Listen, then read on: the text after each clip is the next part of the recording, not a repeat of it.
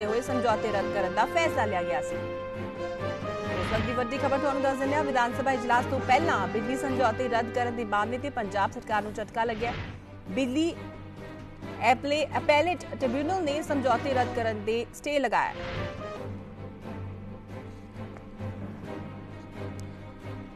ਇਸੀ ਤੇ ਜ਼ਿਆਦਾ ਅਪਡੇਟ ਲਈ ਸਾਡੇ ਨਾਲ ਗਗਨਦੀਪ ਜੁੜ ਗਏ ਨੇ। ਗਗਨਦੀਪ, ਤੁਹਾਡੇ ਤੋਂ ਜਾਨਣਾ ਚਾਹਾਂਗੇ, ਵਿਧਾਨ ਸਭਾ ਇਜਲਾਸ ਤੋਂ ਪਹਿਲਾਂ ਬਿਜਲੀ ਸਮਝੌਤੇ ਰੱਦ ਕਰਨ ਦੇ ਮਾਮਲੇ ਤੇ ਪੰਜਾਬ ਸਰਕਾਰ ਨੂੰ ਝਟਕਾ ਲੱਗਿਆ। ਕੀ ਕੋਈ ਤਾਜ਼ਾ ਅਪਡੇਟ ਆ, ਬਿਲਕੁਲ ਦਰਜ ਜਿਸ ਤਰੀਕੇ ਨਾਲ ਪੰਜਾਬ ਸਰਕਾਰ ਵੱਲੋਂ ਬਿਜਲੀ ਸਮਝੌਤੇ ਰੱਦ ਕਰਨ ਦੀ ਕਵਾਇਦ ਸ਼ੁਰੂ ਕੀਤੀ ਗਈ ਹੈ ਉਹਦੇ ਚੱਲਦੇ ਜਿਹੜਾ ਦਮੋਦਰ ਵੈਲੀ ਦੀਆਂ ਤਿੰਨ ਐਂਟੀਟੀ ਸੀ ਉਹਨਾਂ ਦੇ ਜਿਹੜੇ ਸਮਝੌਤੇ ਸੀਗੇ ਰੱਦ ਕੀਤੇ, ਮਤਲਬ ਨੋਟਿਸ ਕੀਤਾ ਸੀਗਾ, ਤਾਂ ਉਹਨੂੰ ਜਿਹੜਾ ਐਪਲੈਂਡ ਅਥਾਰਟੀ ਹੈ, ਉਹਨੇ ਸਟੇ ਲਾਤਾ ਹੈ।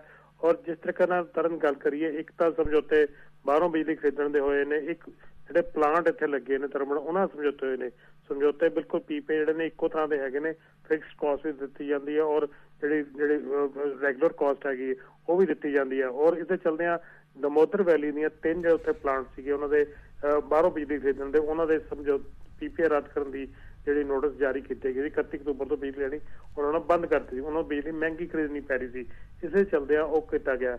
ਇਸ ਦੇ ਨਾਲ ਹੀ ਅਹ, ਆਪਣਾ ਗੋਇੰਦਵਾਲ ਦੇ ਨੂੰ ਵੀ ਨੋਟਿਸ ਕੀਤਾ ਗਿਆ ਜਿਵੇਂ ਕਿ ਨੂੰ ਤਲਵੰਡੀ ਸਾਹਿਬ ਨੂੰ ਨੋਟਿਸ ਕੀਤਾ ਗਿਆ ਔਰ ਪੰਜਾਬ ਸਰਕਾਰ ਦਬਾਅ ਵਿੱਚ ਹੈ ਕਿਸ ਤਰੀਕੇ ਨਾਲ ਜਿਹੜੇ ਪੀਪੀਏ ਰੱਦ ਕੀਤੇ ਜਾਣ ਬਿਜਲੀ ਸਸਤੀ ਕੀਤੀ ਜਾਵੇ ਪਰ ਜਿਹੜੇ ਪੀਪੀਏ ਨੇ ਬਿਲਕੁਲ ਫੂਲ ਪ੍ਰੂਫ ਨੇ ਇਸੇ ਤਰ੍ਹਾਂ ਚੱਲਦੇ ਆ ਐਪਲੈਂਡ ਅਥਾਰਟੀ ਜਿਹੜੀ ਇਲੈਕਟ੍ਰਿਸਿਟੀ ਦੀ ਹੈ ਉਹਦੇ ਵੱਲੋਂ ਇਸ ਤੇ ਸਟੇ ਲਾਤੀ ਗਈ ਹੈ ਇਸ ਤੇ ਪੀਪੀਏ ਰੱਦ ਨਹੀਂ ਕੀਤੇ ਜਾ ਸਕਦੇ ਹੁਣ ਐਪਲੈਂਡ ਅਥਾਰਟੀ ਵਿੱਚ ਕੇਸ ਬਿਲਕੁਲ। ਗਗਨਦੀਪ ਮਨੀਸ਼ ਤਿਵਾੜੀ ਨੇ ਟਵੀਟ ਕਰਕੇ ਜਾਣਕਾਰੀ ਦਿੱਤੀ ਹੈ। ਇਸ ਦੇ ਨਾਲ ਨੇ ਪੁੱਛਿਆ ਵੀ ਹੈ ਕਿ ਇਹ ਗੰਭੀਰ ਮੁੱਦਾ ਕੱਲ ਵਿਧਾਨ ਸਭਾ ਇਜਲਾਸ ਦਾ ਹਿੱਸਾ ਹੋਵੇਗਾ। ਇੱਥੇ ਸਵਾਲ ਇਹ ਵੀ ਖੜਾ ਹੁੰਦਾ ਹੈ।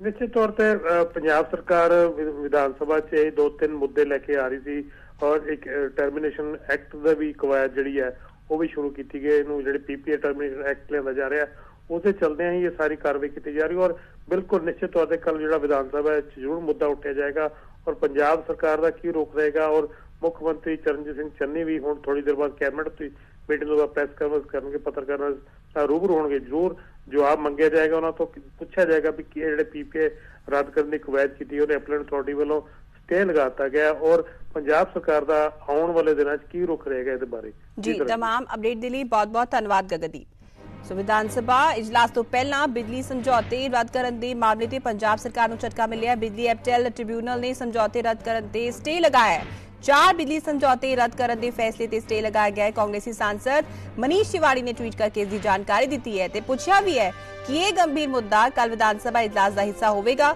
ਚੰਨੀ ਸਰਕਾਰ ਨੇ ਪੀਪੀਏ ਰੱਦ ਕਰਨ ਲਈ ਨਿੱਜੀ ਥਰਮਲ ਪਲਾਂਟਾਂ ਨੂੰ ਦਰਅਸਲ ਕਾਨੂੰਨੀ ਨੋਟਿਸ ਭੇਜੇ ਸੀ। ਦਾਮੋਦਰ ਵੈਲੀ ਕਾਰਪੋਰੇਸ਼ਨ, ਮੇਜਾ ਊਰਜਾ ਪਲਾਂਟ, ਬੁਕਾਰੋ ਤੇ ਰਘੁਨਾਥਪੁਰ ਨੂੰ ਨੋਟਿਸ ਭੇਜਿਆ ਗਿਆ ਸੀ। ਮਹਿੰਗੀ ਬਿਜਲੀ ਦਾ ਹਵਾਲਾ ਦਿੰਦੇ ਹੋਏ ਸਮਝੌਤੇ ਰੱਦ ਕਰਨ ਦਾ ਫੈਸਲਾ ਲਿਆ ਸੀ।